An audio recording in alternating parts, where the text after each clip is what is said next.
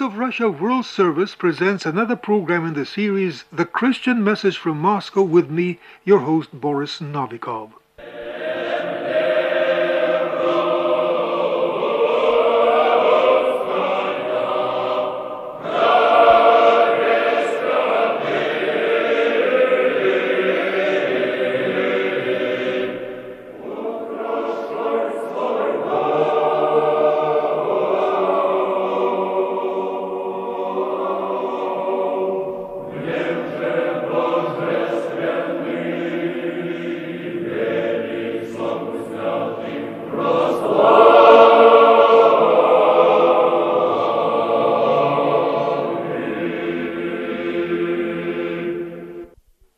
Tell you about Saint Theodosius of Kiev.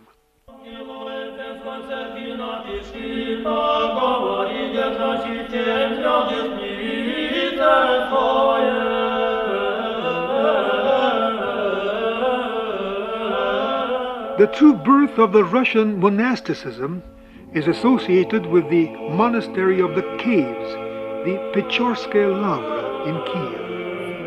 Without any help from the powers that be, it was founded in the 11th century solely as the fruit of the spiritual endeavor, the fasts and tears, as the chronicle puts it, of Russian monks.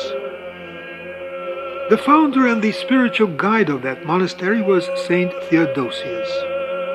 He and his teacher, Saint Anthony, were called by the chronicler the first great candles to be lit in the name of the land of Russia before the universal image of Christ.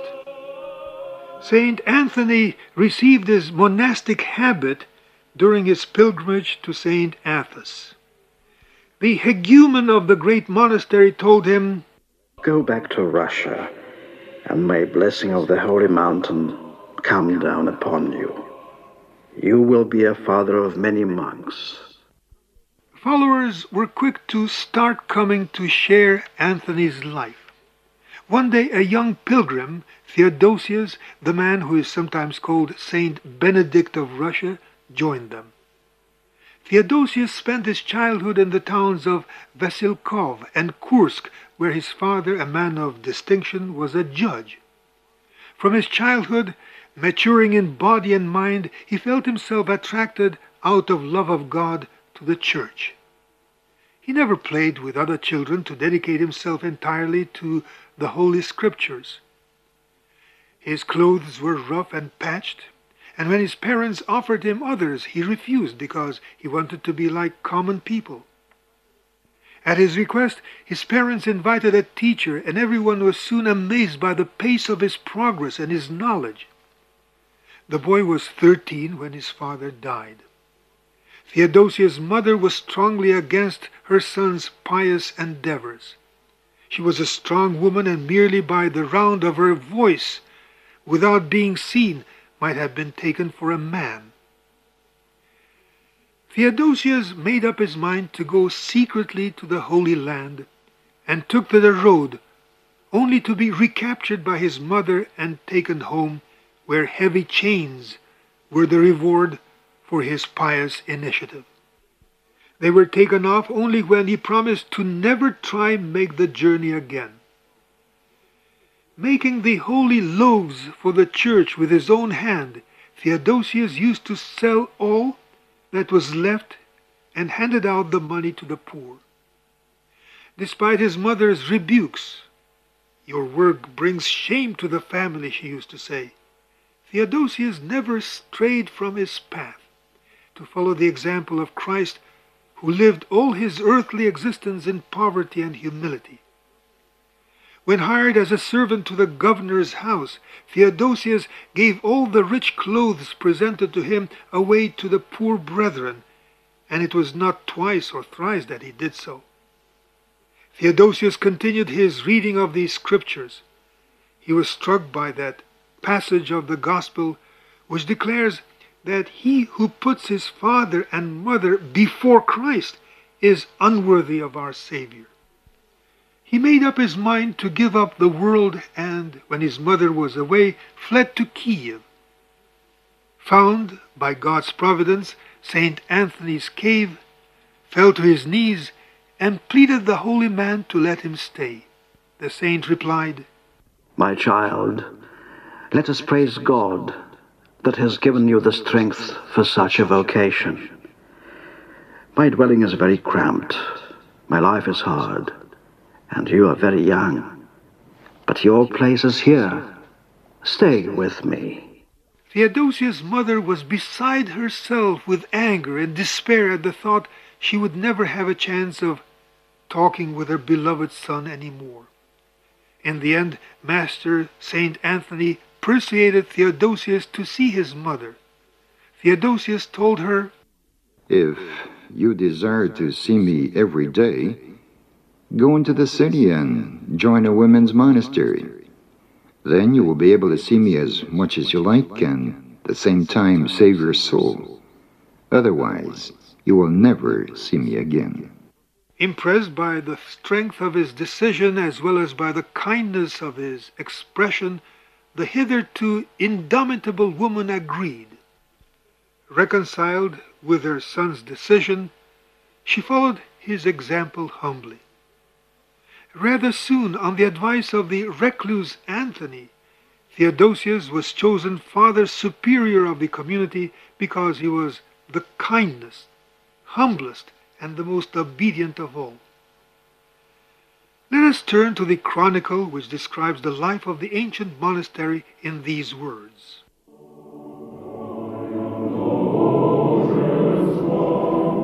God alone can measure the sufferings that the monks took upon themselves by living within the narrow confines of the caves and feeding on barely bread and water.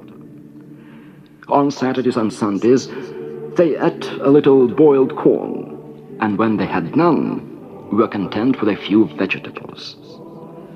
They worked with their hands, weaving garments for their brothers and exercising other manual trades.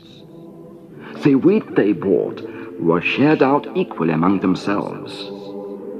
Ceaseless was the prayer in a small church dedicated to the Blessed Virgin built above their caves.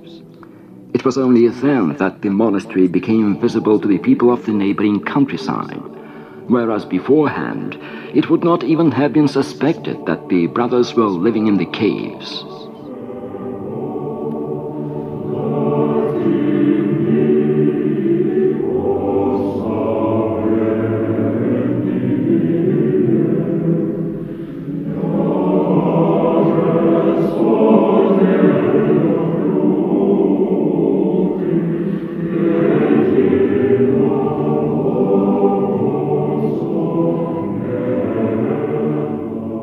Theodosius was a model to the others, not so much by extraordinary penances he undertook as by his devotion, humility, and good work. His asceticism was something private, almost sacred. He didn't want others to see. He wore a hair shirt, but put on other clothes to hide it. He never lay down to sleep, but remained sitting in a chair in his cell where nobody would see him. The chronicle runs, And so strong was the charity of our father Theodosius that when he saw a beggar or a man clad in rags, he wept with compassion and gave as an alms everything he had on him. He spent nights in prayer. During the 40 day Lent, he retired to a lonely cave and forgot everything earthly in his mystical sacred heart life. A divine harmony, a balance between the inward and outward feasts of a monastic life was the fruit of Saint Theodosius' spirit. The saint Hegumen stated, What is principally necessary is that the youngest should love their neighbor and listen to their elders with obedience. The elders should lavish on the young love and instruction. They should teach them and comfort them. During the night, Saint Theodosius would sometimes stop praying to speak to those he found gossiping. He never gave way to anger and was always kind, gentle, and charitable. But when he saw in the cells food and clothing in excess of the limit laid down by the rule, he had them burnt, for he was certain that they were the devil's portion, since they had been acquired through disobedience. When a sheep of his flock grew weak in faith and left the monastery, the saint, in his deep affliction, would pray for his return. And when the brother came back, he would talk to him and send him to his cell in peace. One more narration from the monastery chronicle.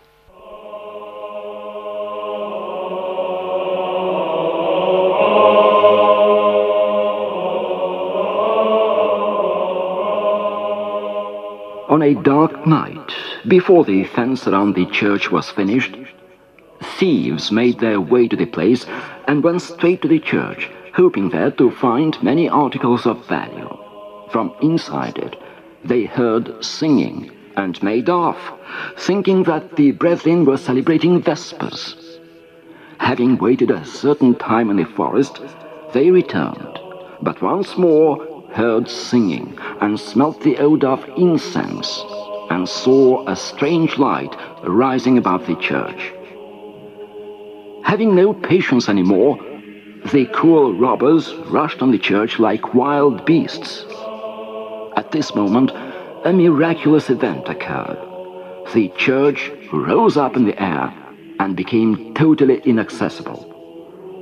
The monks who were with the saint noticed nothing but the thieves in their terror fled away and promised never to harm anyone again.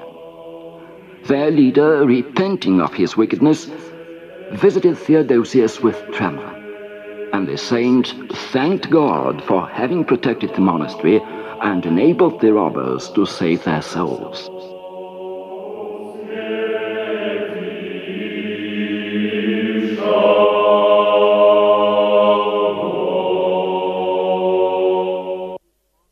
People talked of those monks who lived like angels on earth, the good works of Abbot Theodosius shining more brilliantly than the sun. The monastery of the caves grew.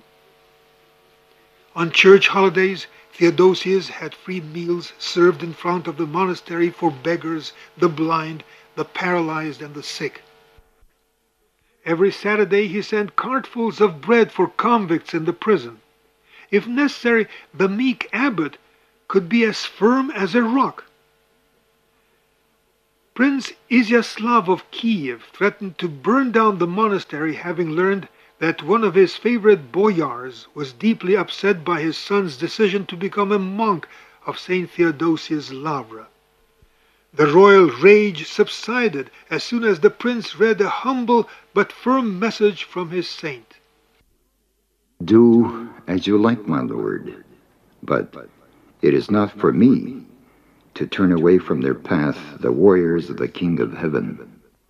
When Iziaslav's brother drove the legitimate sovereign out of the capital and invited Saint Hegumen to dine with him, Theodosius answered the usurper with these words from the scriptures. I will not go to Jezebel's table and eat food contaminated by blood and murder. Warned by his followers that the prince would seek revenge, he said calmly, Brothers, my heart is full of joy. Nothing better could happen to me. What have I to fear? Loss of wealth and property? Separation from my country and my spiritual children? We came into the world without any of those things. We were born naked, and so we leave the earth. And that's why I am ready to accept exile and death.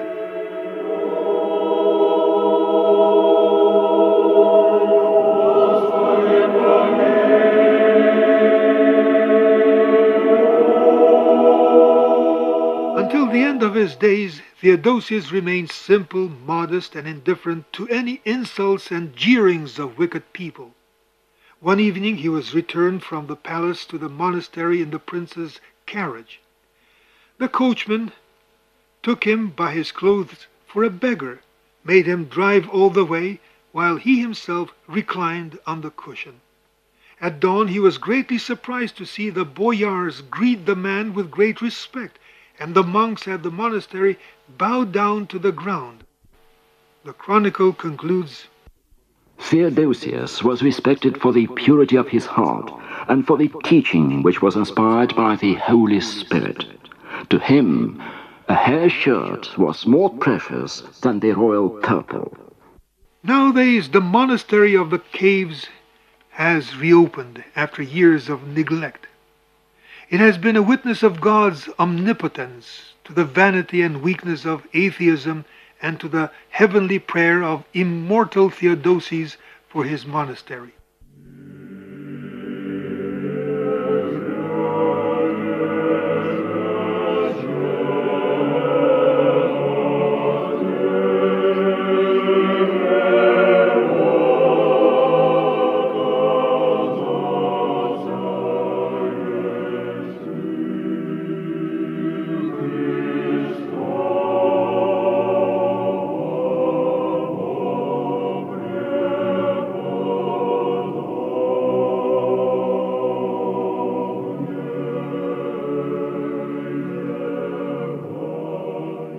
You have been listening to another program in the series The Christian Message from Moscow, devoted to the Saint Theodosius of Kiev. The story was written by Father Artemy of the Moscow Theological Academy.